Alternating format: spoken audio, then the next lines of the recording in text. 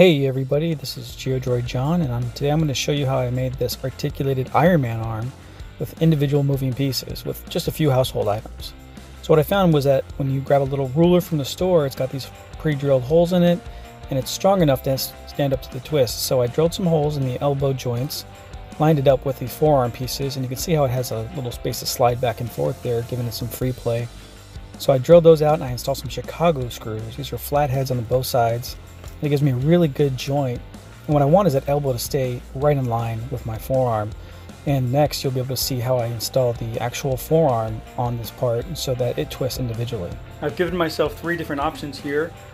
The bottom one being the position I would like the wrist to be in line with the other joint.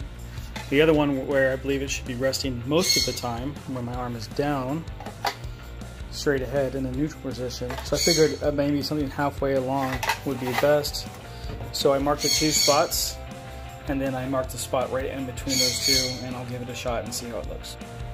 The next step is to remove this Chicago screw and place in the ruler underneath it and reinstall it and then it'll extend out and then I'll install the next one right here on the inside of the cuff and I may have to trim it down. And a note on trimming down this kind of acrylic is that you do not want to snap it, it will just break into random shards. You want to cut it in straight lines with like a pocket knife or a small saw and then snap it into the pieces you want and then very carefully trim the edges away. Definitely wearing safety goggles during this and then you can um, file it down with a file like this one I have right here. So I'm going to go ahead and do all those steps and then you'll see the next step.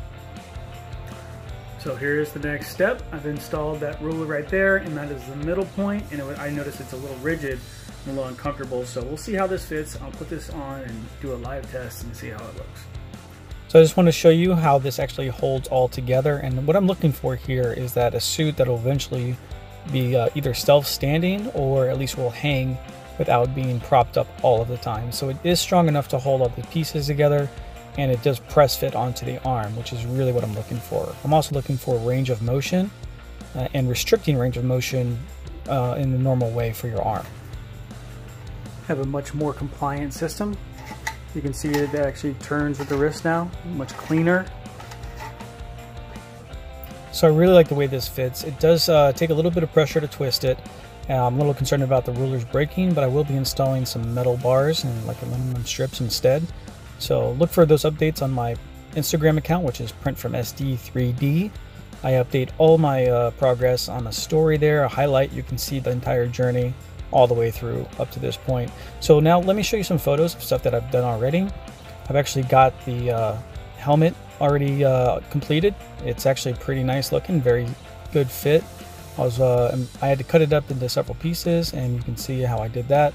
The thighs were a little bit more difficult. I had to print out a whole separate thigh. Uh, I made myself a PVC pipe rack here. You can see it's needs some work. And then I'm working on the back. Uh, the back pieces are uh, several pieces and, and it's gonna look really good. Um, long, long hours. You can see the print times written on there and it's coming together. I only have one more piece to print and that's where we are right now. Thanks guys. See you later.